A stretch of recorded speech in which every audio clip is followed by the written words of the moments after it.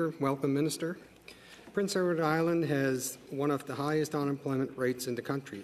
At the same time, a wide range of industries face ongoing labour shortages, especially in remote areas.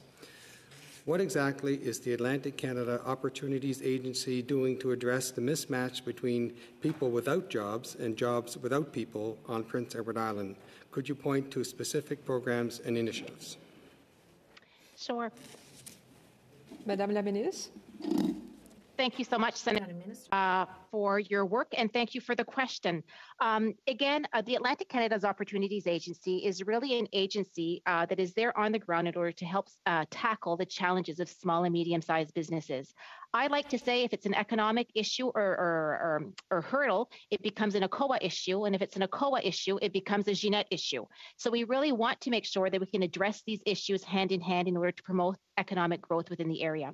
I can tell you that when I meet with small and medium sized businesses, let it be New Brunswick, Prince Edward Island, Nova Scotia, or Newfoundland and Labrador, the number one issue that I'm hearing uh, from uh, businesses is the issue of labor force shortage, uh, and especially when it comes to rural parts uh, of the country here.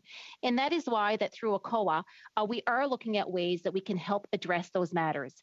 One thing for certain, we certainly know that the issue of automation and digitization is really, um, you know, um, an issue of, of the of a tool that many small and medium sized businesses are using.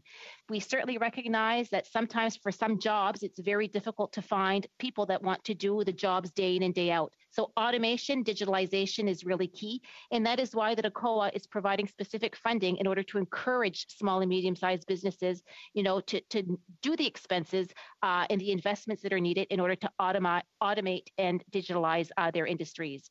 The other thing as well that ACOA is doing as well, we have supported some community groups with respect to immigration types of projects as well.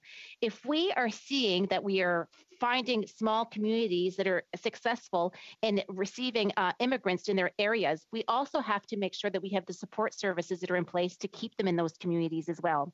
I'll use Chipman as an example in the province of New Brunswick. It's a small Madame rural community. Merci beaucoup. Thank you, Madam